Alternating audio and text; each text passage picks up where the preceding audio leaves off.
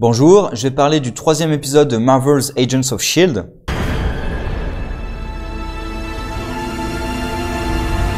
Alors l'épisode se dédie entièrement à l'arc dans l'espace. Et donc j'avais dit que pour moi c'était l'épisode qui devait essayer de me convaincre de l'utilité de cet arc. Alors c'est vrai que j'avais oublié quelques éléments qui sont que euh, par exemple Gemma n'est pas encore enceinte de Fitz et ne l'a pas encore été. Donc il faut qu'elle donne naissance à Dick. Donc voilà, il y a des éléments de la timeline qu'il faut euh, qu'il faut recréer pour s'assurer que ça marche correctement. En même temps, j'ai l'impression que leur timeline et avec le voyage temporel, ils l'ont complètement euh, bousillé. Et d'ailleurs, j'y pensais même plus, mais le voyage temporel tel qu'il est présenté dans la série est complètement incompatible avec le voyage temporel tel qu'il est présenté dans les films. Parce que dans les films, il est très clairement dit, même si c'est pas vraiment respecté à tous les moments, il est très clairement dit que tu ne peux pas changer ton propre passé. Or, Fitz a changé son propre passé. Donc ça marche pas. Par rapport au film. Alors après, peut-être que c'est une autre forme de voyage temporel et qu'en fait, il y en a plusieurs formes de voyage temporel. Mais voilà, c'est, de toute façon, écrire une histoire avec du voyage temporel, c'est toujours très casse-gueule. Et il y a très peu de films, séries, etc. qui réussissent à le faire convenablement. La manière la plus facile, c'est celle de Dragon Ball. Pas seulement, mais celle de Dragon Ball notamment c'est de dire que tu crées une timeline alternative et du coup tu ne peux pas changer ton propre passé. Tu changes le passé d'un monde parallèle. C'est le seul truc qui marche plutôt bien puisque là du coup tu peux pas avoir d'incohérence et tu peux faire à peu près ce que tu veux. Bref, là voilà il y a quelques trucs de la timeline à réparer, mais moi mon problème de l'utilité, c'est pas l'utilité dans l'univers des personnages, parce qu'il y a plein de trucs qui sont utiles à faire pour les personnages qu'on va pas nous montrer à l'écran parce que c'est pas utile de le montrer. Moi, ma question, c'est est-ce que c'est utile de, de, regarder ça? Est-ce que c'est utile de, de faire ça, de faire cet arc? C'est ça ma question. C'est est-ce que les scènes qu'on voit, elles sont utiles? Et là, pour moi, l'entièreté de cet épisode est inutile. C'est un peu, c'est Canto Byte en fait. C'est même complètement Canto Byte dans Star Wars. Ça ne sert à rien. Puisque là, l'intégralité de ce qui s'est passé, ça aurait pu se résumer en une scène, peut-être même en plusieurs scènes, hein, peut-être un truc euh, 15 minutes, peut-être. Gemma arrive, elle retrouve Fitz, il entre sur le vaisseau, il, euh, discute, tout va bien, euh, l'équipe euh, l'équipe s'engueule un peu, mais comme Fitz revient, ils sont contents. Bon, le chasseur de primes débarque, il capture Fitz, il, il demande à Inox ce qui se passe, il leur révèle que lui aussi c'est un chronocone, je crois que c'est ça le nom, un chronocone, et ça fait exactement le même résultat que cet épisode. Sauf que là, non. Gemma débarque quelques instants après que Fitz soit parti. Le euh, chasseur de primes, enfin, du coup, le chronocone arrive. Il se fait assommer par derrière comme un abruti. En plus, après, il va se libérer, mais pourquoi il s'est pas libéré plus tôt ou comment il s'est fait capturer aussi facilement Enfin, il y a plein de, points comme ça qui réduisent en plus la dangerosité du truc, quoi. Dire, il se fait, il se fait assommer euh, dès sa première scène on essaie de nous montrer, le gros chasseur de primes qui s'équipe et tout. Première scène où il débarque, il se fait assommer. Bon, bah voilà, il a plus aucune crédibilité, votre truc. Et à la fin, il y en a trois face à une euh, Quake qui est complètement euh, shootée. Ils réussissent pas à, viser droit, quoi. Alors qu'elle est complètement shootée, elle tient à peine debout, ils réussissent pas à viser droit. En plus, il y a une note qui nous dit, oh, ils sont extrêmement dangereux et tout, parce que ce sont des chasseurs. Ah bon? Ils réussissent pas à se battre contre une femme qui est complètement torchée. Euh. Donc, elle utilise à peine ses pouvoirs en plus. Hein. Elle se bat au corps à corps. une humaine, une inhumaine, d'accord, mais quand même, elle a pas une super force. Donc, une force humaine complètement euh, droguée, elle réussit à les battre. Donc, oui, la dangerosité de ces personnages, je la remets en question quand même. Et voilà, l'épisode, j'ai envie de dire, principalement, il va servir à quoi? À part faire des gags sur le fait que Gemma et euh, Quake sont, sont shootés il sert principalement à essayer de créer une relation entre Fitz et Enoch. Alors pourquoi pas? Ça marche pas trop mal, pourquoi pas? Mais euh, ça, on aurait peut-être pu le faire avant, plutôt que d'avoir un épisode entier où le seul truc utile de l'épisode, c'est ça. Tout le reste, c'est plutôt du gag. Et ça sert à rien, en fait. Euh, même, il y a des trucs qui sont pas cohérents. Par exemple, c'est un anthropologue. Il, est, il ne sait pas ce que ça veut dire bluffer. Il nous dit qu'il a observé les jeux, qu'il a observé des milliers et des milliers de jeux, il sait pas ce que ça veut dire bluffer. Sérieusement. C'est un anthropologue. En plus, il le répète, c'est un anthropologue. ça c'est un comportement de base. Mentir, cacher des informations, c'est un comportement de base. Et quand tu étudies des, quand étudies des jeux en plus, c'est tellement évident. Mais là, ils essaient de faire le truc, c'est une machine, il comprend pas les sentiments humains. Oui, mais c'est un anthropologue, normalement il devrait. C'est pas logique. C'est à la limite qu'ils puissent pas les imiter, c'est une chose, mais qu'ils ne les comprennent pas, qu'ils sachent même pas que ça existe, c'est absurde. Ou euh, pareil, après il y a Fitz qui euh, donc qui propose à Fitz d'entrer dans un jeu où euh, vraiment les paris sont extrêmes. Et Fitz attend le dernier moment pour lui demander ce qu'on parie.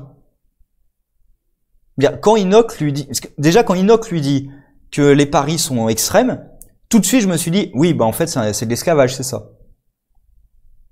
Eh bah oui, c'est de l'esclavage. Parce que de toute façon, ils ont rien à parier, donc le seul truc que tu peux parier, c'est ta vie ou ta vie au sens propre, puisqu'on voit qui tue, ce qui n'a d'ailleurs pas trop de sens, parce que si le but du jeu c'est de parier ta force de travail, bah, les tuer, c'est une perte de revenus en fait. Ça n'a pas d'utilité de les tuer même pas en termes d'amusement, parce que c'est pas c'est pas des gladiateurs quoi. ça amuse personne de. Là, il y a très peu de spectateurs en plus, donc ils gagnent pas d'argent en tuant quelqu'un. Là pour le coup, dans un casino qui est euh, sur un jeu comme ça immoral, ce qui va compter pour eux, c'est de gagner de l'argent. Donc tuer là, euh, ça leur apporte quoi? À moins qu'ils vendent ensuite les organes euh, par pièces détachées, mais c'est pas du tout dit à aucun moment. Donc bref, et Fitz attend le dernier moment, c'est-à-dire il lui a pas demandé tout de suite, avant d'entrer dans la salle et tout, il lui demande pas ce qu'on va parier, parce que quand même on n'a pas de jetons, qu'est-ce qu'on parie? Non, non, il attend le dernier moment pour faire la, révélation dramatique. Voilà, c'est... Donc, euh, je ne suis toujours pas convaincu. On apprend une information qui, qui pourrait être intéressante, mais comme c'est pas du tout traité non plus dans l'épisode, il euh, faudra attendre la suite pour voir si c'est vraiment intéressant ou pas. Les Croacon disent poursuivre Fitz parce que il a, euh, il a modifié l'univers. Donc très probablement qu'il parle du voyage temporel. Si c'est ça, ça peut être quelque chose d'intéressant de leur dire que voilà, ils ont bousillé la timeline, qu'il y a des conséquences, quoi, qu'on va pas les laisser faire n'importe quoi.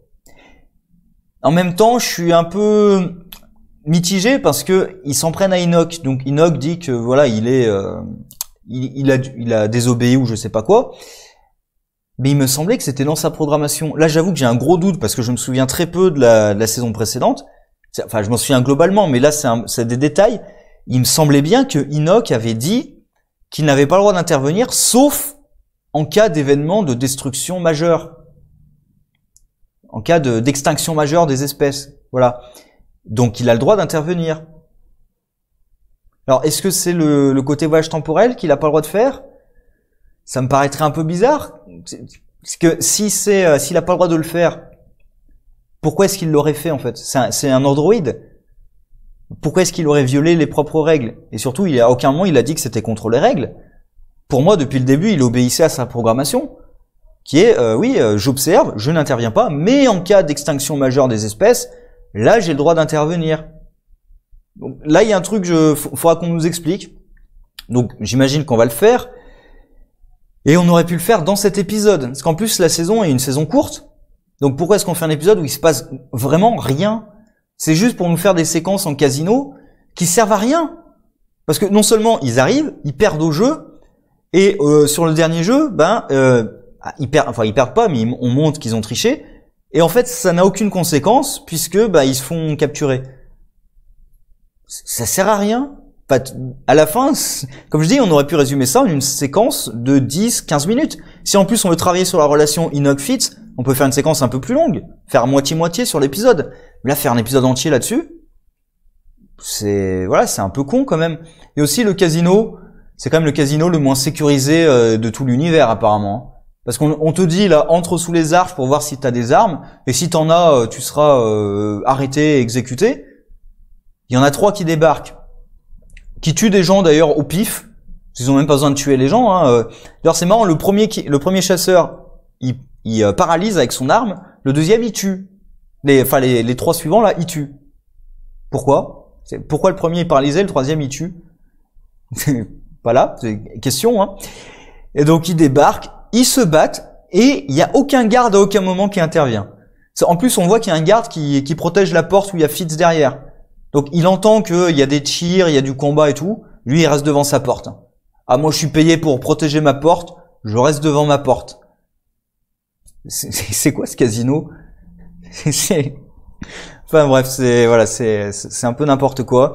Donc ça m'a pas convaincu. Mais alors pas du tout. Ça sera peut-être très bien, hein, mais le problème c'est que ça n'a toujours pas démarré. Pour moi c'est un peu ça, c'est que l'arc là dans l'espace, ça n'a toujours pas démarré. À la rigueur, ça aurait peut-être dû démarrer là maintenant. Ils auraient peut-être pu démarrer l'arc dans l'espace avec le groupe qui trouve Fitz, qui le sort de son sommeil, et ensuite il se fait capturer. Ils auraient pu commencer l'arc dans l'espace comme ça. Et tout, ça, c'est pour moi, c'est un prologue qui ne sert pas à grand chose. Même l'engueulade avec euh, Gemma sur le vaisseau, même cette engueulade, déjà elle dure très peu, puisque très, tout de suite ils se rendent compte que oh bah finalement il avait raison et Fitz est là, et du coup ça lui donne raison. Alors que moi je la trouvais particulièrement antipathique, en plus à demander euh, mais vous êtes dans quel camp et tout. les mecs ils t'ont suivi dans l'espace pendant plusieurs mois sans doute. Ils risquent leur vie. Et, tu leur demandes ils sont de quel camp? Mais alors je comprends pour le personnage, hein, mais c'est insupportable. Pour le coup, euh, voilà, et là, je comprends aussi très bien que eux s'énervent. Et finalement, c'est réglé très vite. Euh, même avec Quake, euh, il y a leur, petite discussion alors qu'elles sont toutes les deux shootées. Ça, ça mène pas très loin non plus. Hein. Donc euh, finalement, l'engueulade avec Gemma, ben, en fait, on n'en aura pas plus, je pense. Mais bon, on verra. La, suite de cet arc sera peut-être très bien, mais pour moi, tout le début là était assez inutile. On aurait pu résumer ça en peut-être deux grosses parties dans l'épisode précédent et dans cet épisode, et, mieux mélanger les deux arcs, peut-être. Mais bon, hein, on verra la suite. Est-ce qu'ils vont nous alterner les épisodes ou est-ce que plutôt ce que je préférais, c'est qu'ils nous mettent un peu des deux arcs dans chaque épisode, avec peut-être quelques épisodes dédiés à un arc en particulier et qu'au bout d'un moment, bah, ça se réunit, que les deux se réunissent, qu'ils restent pas séparés l'un l'autre pendant toute la toute la série. On verra. Est-ce que les chronocones sont liés à ce qui va se passer sur Terre, par exemple? Bon, on verra tout ça, mais pas convaincu par l'arc de l'espace. Sur ce, au revoir.